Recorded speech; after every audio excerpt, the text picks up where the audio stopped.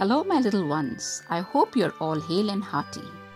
Today, I'll be taking up another very short and beautiful poem, Beauty, from your Class 6 NCERT book, Honeysuckle.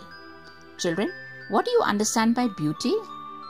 Well, beauty is a quality of being very pleasing to the senses. John Keats, one of England's greatest poets, in one of his poems wrote, A thing of beauty is a joy forever.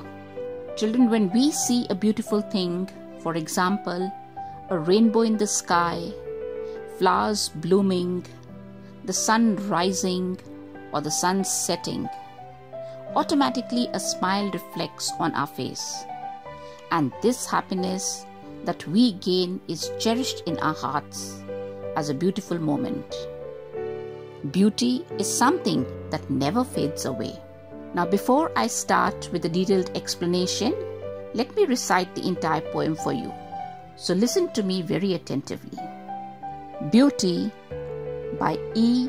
Ye Sur. Beauty is seen in the sunlight, the trees, the birds, corn growing, and people working or dancing for their harvest.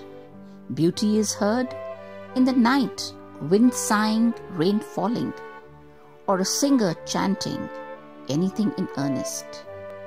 Beauty is in yourself, good deeds, happy thoughts that repeat themselves in your dreams, in your work, and even in your rest.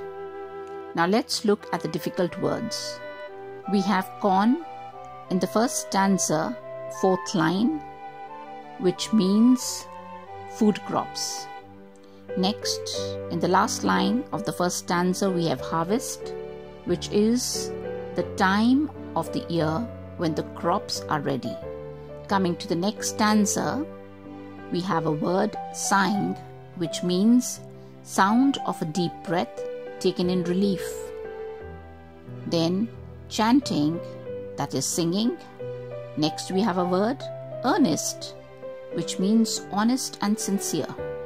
Then we have a word deeds in the final stanza, which means actions, and repeat, which means happening again and again.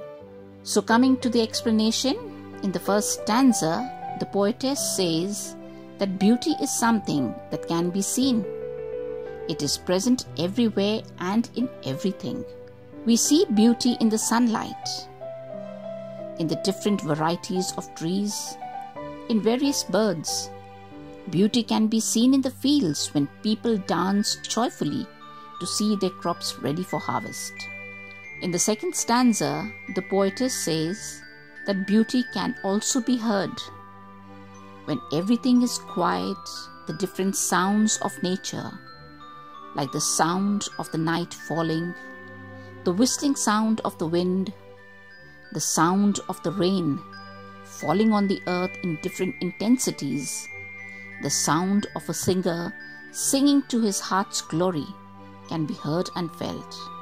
And any sound made with an earnest and sincere intention can be heard. Looking at the final, that is the last stanza, the poetess feels that above all, true beauty lies within each and every person. It can be seen in our noble actions, joyful ideas, and thoughts.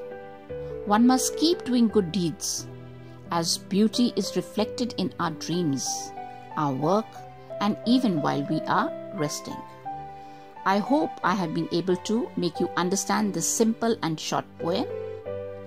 Children, it would be a pleasure to know what beauty is for each one of you.